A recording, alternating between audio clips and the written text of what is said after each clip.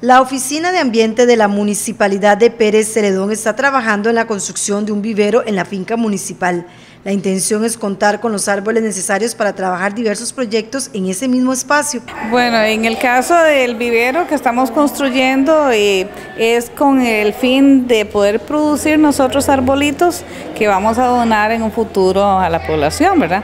Arbolitos que son para cuidar nacientes, para darle comer a los animales.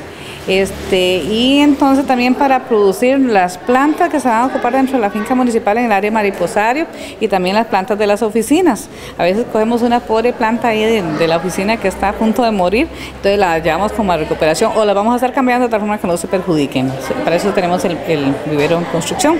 ¿Dónde está? Está en la finca municipal. Además, la idea es ampliar la cantidad de especies, entre ellas orquídeas. También ahí la idea es a futuro pues ir metiendo orquídeas, otras cosas que se van luego a instalar dentro de la finca, ¿verdad? Porque nosotros eh, lo planeado en la finca también es tener un vivero de orquídeas, ¿verdad?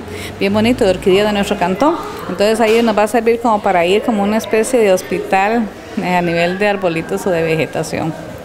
¿Cuándo se espera que esté listo el vivero? Ya lo estamos construyendo, ya la otra semana le ponen el sarán, entonces ya empezamos a trabajar. Este vivero que se trabajará de la mano con voluntarios del programa Justicia Restaurativa, según explicó. Uno de los puntos muy importantes es que ese vivero lo va a trabajar la municipalidad en la parte de ambiente, ¿verdad?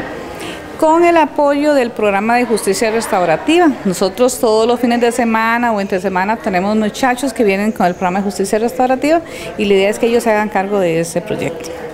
Qué bonito, y eso se le suma que ya en estos días se espera que se presente el plan de manejo. Mm, sí, ya está para exponerse a la alcaldía la próxima semana y después se programa entonces eh, de parte del señor alcalde cuando se programa en lo que es el Consejo Municipal y ya tomar acciones en el asunto. Se espera también tener pronto todos los detalles del plan de manejo de la finca municipal para definir la ruta a seguir.